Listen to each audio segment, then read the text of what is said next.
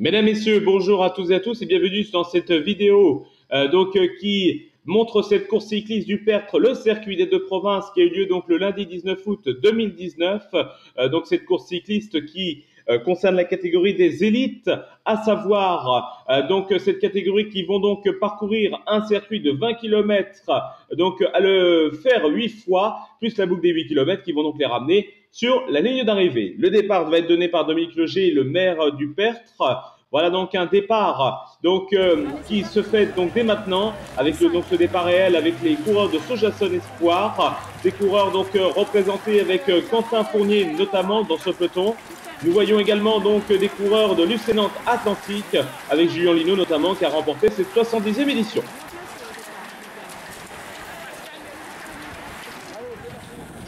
Voilà donc euh, nous pouvons apercevoir les premiers véhicules de la course d'ouverture avec Podiocom bien sûr qui loue donc bien sûr des cartes podium euh, effectivement pour vos événements, euh, notamment les événements cyclistes. Les motos de la sécurité bien sûr qui vont ouvrir donc cette 71e édition du circuit des deux provinces. Voilà donc on va voir très certainement ces coureurs arriver donc qui sont 21 coureurs en tête. Ces 21 coureurs en tête, donc emmenés par Norman Latouche de VC Dinanet. Euh, voilà donc 21 coureurs, notamment nous avons des coureurs de l'Ucénant Atlantique avec Louis Barré, Julien Lino, Axel Mario. Nous avons également un coureur de ES Torini, à savoir Alexis Pierre.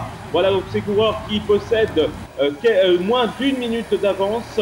un contre s'est formé juste après donc euh, ce contre qu'on aperçoit immédiatement, voilà avec un coureur de Valette, c'est Kylian Briand qui emmène ce contre. Voilà quelques coureurs de Vendée Pays de la Loire également qu'on peut apercevoir. Euh, ces coureurs donc euh, juste après un peloton donc bien sûr très actif. Voilà donc sur l'entrée du Pertre. c'est ce peloton donc qui est composé donc du plus de 150 coureurs. Voilà donc ces coureurs qui vont donc, qui vont bientôt terminer ce premier passage.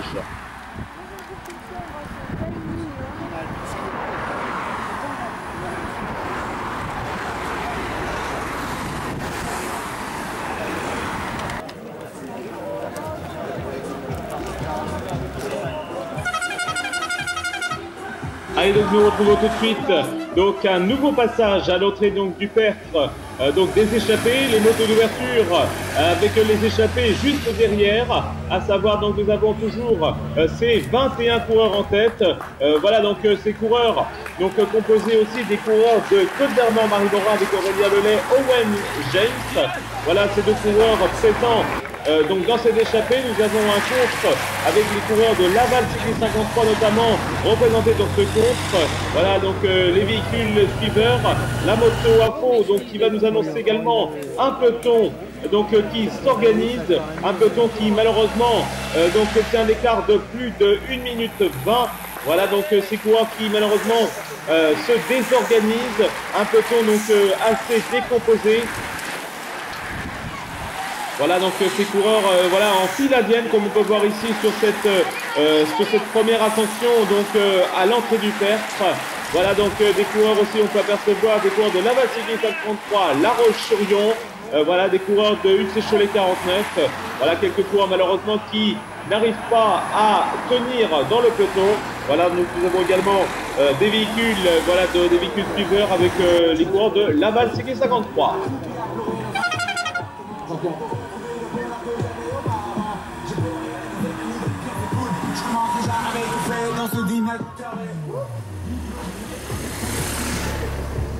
Allez donc euh, retrouvons tout de suite euh, donc euh, à l'avant de la course toujours ces coureurs de tête. On rappelle qu'ils ont perdu donc Benoît Poitvin donc de Saint-Herblain. Voilà donc on va les retrouver donc tout de suite donc à la sortie de Saint-Cyr-le-Gravelet pour rentrer dans la commune du Pertre, donc en Ille-et-Vilaine. Et donc ils sont là, au pied de la bosse de l'église. Voilà donc euh, ce, le Baptiste Constantin emmène ses échappés. Nous avons donc également toujours Marlon Gaillard, donc le seul de Vendée donc qui a remporté, au rappel, une deuxième place rondeloise euh, donc cette année. Voilà donc un coureur euh, donc très fort aujourd'hui. Nous avons donc aussi donc Florian Rapito qui ferme la marche.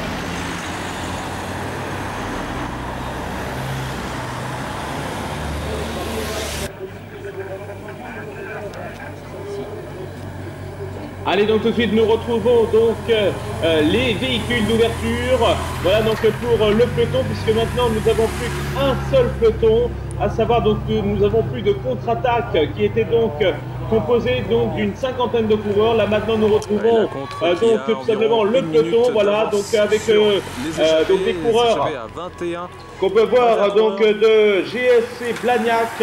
voilà nous avons des coureurs de l'UDAC également représentés donc dans ce peloton. Euh, ce peloton qui accumule un retard de plus d'une minute.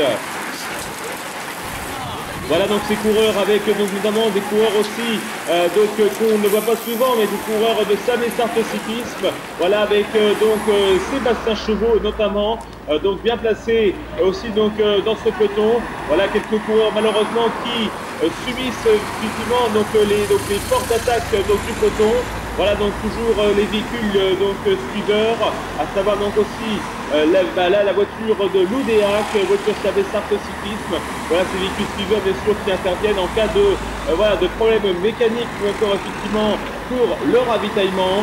Donc je rappelle ici que nous sommes dans la zone donc de ravitaillement, donc puisque il n'y a, a, que deux zones sur ce parcours. Voilà, nous remercions également on peut le voir donc les ambulances de Loiron, voilà les ambulances de Loiron, et nous avons donc également la voiture balai voilà, qui annonce la fin de course. Ça,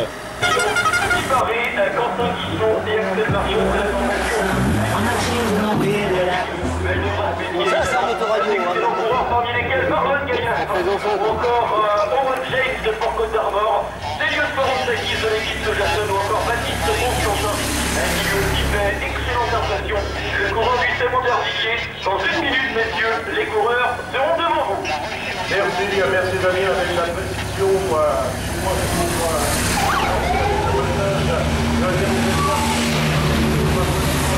Alors, c'est une information qui vous apporter sur le en revanche avec une autre information non notamment avec l'information de la à 53 il y aura un cœur de bien faire également, puisque nous sommes jusqu'alors avec la Association d'Espoir. On a décidé également le peloton du Puy de l'UDF, les Côtes d'Armor par l'information d'Anthony Raver, le team Nord Atlantique. C'est le cas également avec Sophie également, on sait l'excellente disposition du moment, puisque c'était le passage avec Dylan Guidet, Morphony qui a été le vainqueur des sur le tour de la Manche. Est également champion de France, il y a déjà un an de cela, qui a eu l'occasion également de marquer ses sur On restera les coups des informations pour savoir si c'est évolue au niveau des écarts, toujours est-il avec toujours 20 coureurs sur les avant-postes, notamment avec des coureurs de l'information, que ce soit ouais, le Padelot, on avait cité également le sociétaire du Monocle de Moudiac dans la personne, celui qui nous étrate au niveau de cette organisation, l'ancien champion de championnat de France, le également, on a mis en route avec William nous également avec le vice-champion de Bretagne, celui qui a remporté étape sur le tour de sur le tour des Deux-Sèvres, le maintenant sur le compartiment des derniers kilomètres, avec un nouvel écart qui sera pris en considération, toujours est-il, avec une bagarre qui s'avère à Royal du côté du Bertre, on restera bien entendu au niveau des informations avec Eric Roussard, avec le match qui est Allez donc maintenant,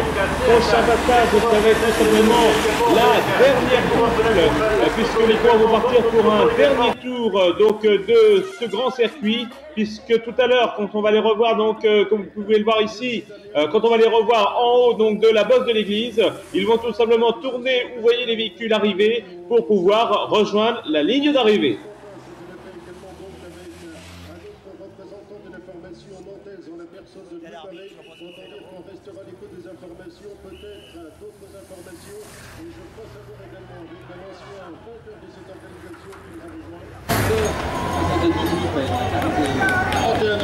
Et en fait, il n'est jamais passé professionnel, qui est très bien à la puisque euh, il y avait une équipe euh, qui marchait très fort, une équipe d'élite, qui vous permettait de faire toutes les grandes courses. Et vous avez gagné toutes les derrière. À d'un côté, Alexis lui. Oui. Damien pour le podium. Oui, je t'en prie, Damien. On t'entend parfaitement.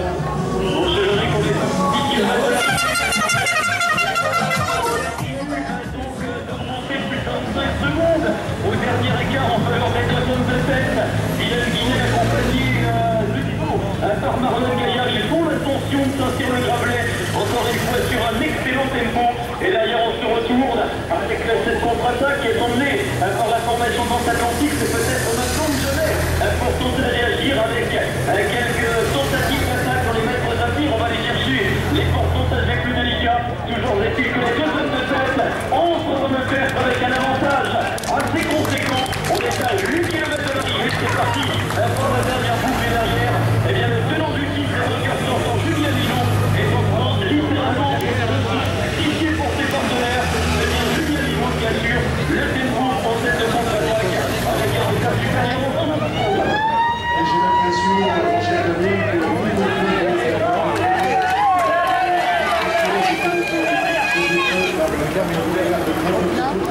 effectuer également des études de géographie du côté de la fac de Tours pour celui qui a eu l'occasion, je le disais, de remporter certes victoire sur la route de loi sur l'estrade bretonne, victoire également sur le classement général du avait été le vainqueur également ces dernières années sur le Tour de Mareuil, vainqueur d'étape sur la Sport Braise, il avait terminé également deuxième du Grand Prix Ploué dans la catégorie des amateurs, celui qui avait brillé également sur le plan international, que ce soit notamment sur le Tour du Maroc où il avait terminé quatrième du classement général, apparemment la victoire qui se dessine à ceci près que nous sommes également avec les autres coureurs en embuscade avec les franciliens, quant à eux donc en deuxième et troisième position, on va l'accueillir avec les honneurs dus à son rang, messieurs, les mains qui vont se lever, s'il vous plaît, avec euh, celui qui va signer la quatrième victoire de la saison de 2019, Marlon Gaillard, on l'accueille avec un tonnerre d'applaudissements, on va s'en donner à cœur joie, s'il vous plaît, merci de l'applaudir encore plus fort, s'il vous plaît, pour ceux qui aient de victoire ici, sur le circuit des deux provinces Père, superbe victoire, Marlon Gaillard, derrière également pour le place d'honneur, c'est parti de très loin, on attaque avec euh, Baptiste Constantin, je crois savoir qui sera but deuxième, troisième Loubaré, ensuite les autres coureurs de la formation de Torigny qui étaient compte à également pour les places d'honneur, félicitations à l'ensemble des coureurs, c'était le cas également avec Dominique Clèche, tout comme également avec les représentants du team Briquebec Contentin, puisque Dame Wid qui en termine à l'instant, le champion de Grèce également, à savoir que nous sommes avec Stelios Parantakis, superbe de la belle ouvrage.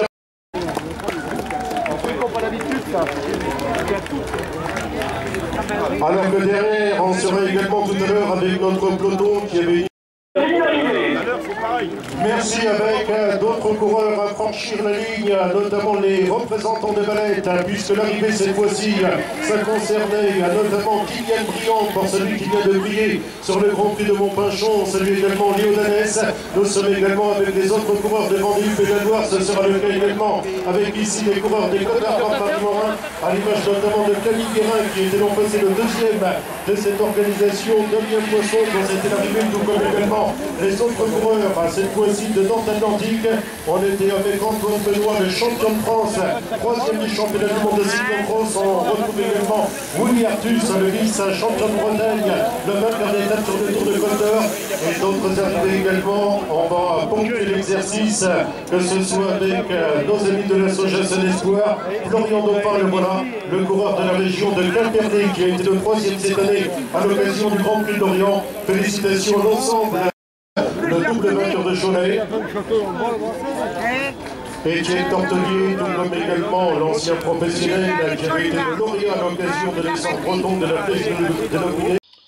Voilà donc bravo pour euh, Marlon Gaillard qui remporte cette 71e édition du circuit des deux provinces.